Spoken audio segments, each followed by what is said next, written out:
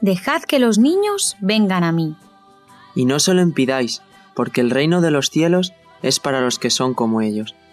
Siguiendo la buena enseñanza que has traído a los días de mi juventud. Estas y otras muchas palabras de Jesús, el Hijo de Dios, son las que nos inspiran para servir a nuestro Señor en este maravilloso terreno, de sembrar la palabra de Dios en el corazón tierno de los niños. En tiempos tan hostiles para este menester como son los actuales, dejad que los niños vengan a mí, se nos presenta como una oportunidad única para poder sembrar los valores eternos que solamente la semilla de Dios puede darnos. Enséñame a vivir en ti. Dejad que los niños vengan a mí es un trabajo realizado por las jóvenes de la Iglesia Bíblica Reto a la Esperanza en La Coruña. Es un viaje, una aventura que recorreremos juntos a través de las vidas misioneras de hombres y mujeres que nos dejaron un legado de fe, esperanza y amor. Dejad que los niños vengan a mí es la oración, súplica y el deseo ferviente de nuestros corazones, de conocer desde la niñez aquellas cosas grandes y maravillosas que Dios tiene preparadas para los que le aman. Y toda nuestra vida sea Dejad que los niños vengan a mí. Y no se lo impidáis.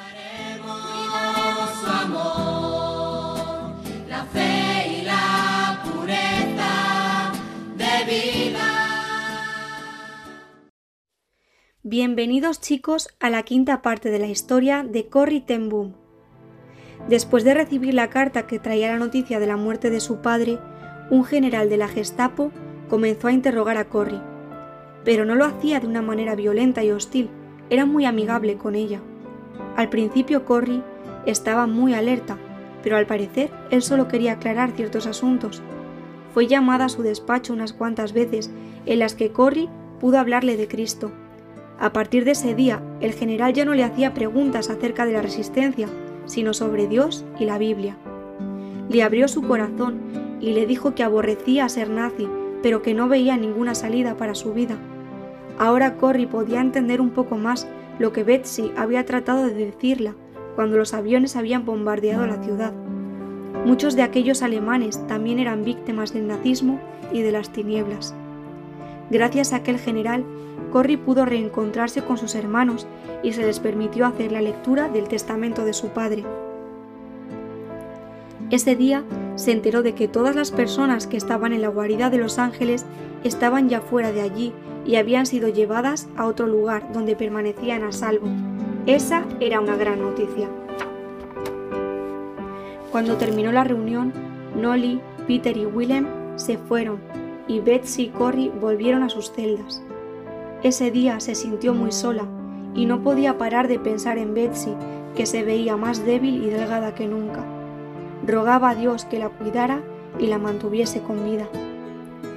El 12 de junio de 1944, las presas fueron sacadas de aquella prisión y trasladadas de allí. En medio del tumulto, Corrie pudo divisar a Betsy y tras mucho esfuerzo logró alcanzarla. Corrie, gracias a Dios que eres tú.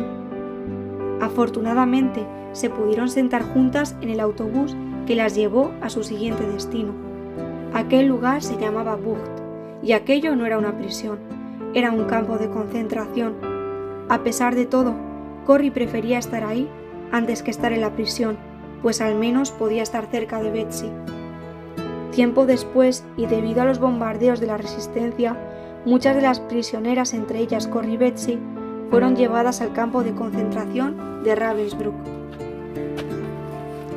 Corrie y Betsy estaban en el Barracón 28, un edificio largo y de escasa altura.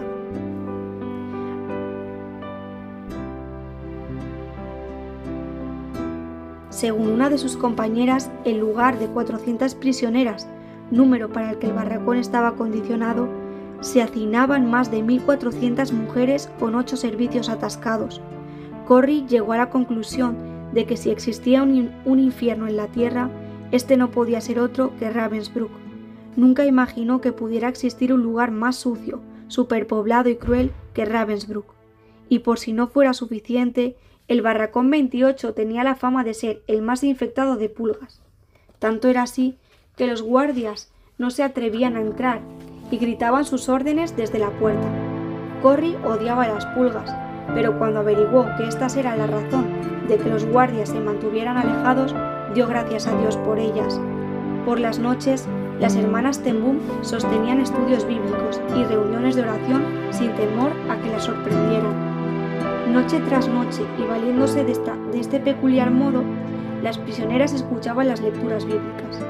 Cuando Betsy terminaba de manifestarles el inmenso amor que Dios tenía por cada una de ellas, cantaban un himno y oraban. El barracón 28 pasó a ser conocido como el barracón de las locas con esperanza. Hasta aquí la historia de hoy. Espero que os haya enseñado y muchas gracias por escuchar. Dejad que los niños vengan a mí. Y no se lo impidáis.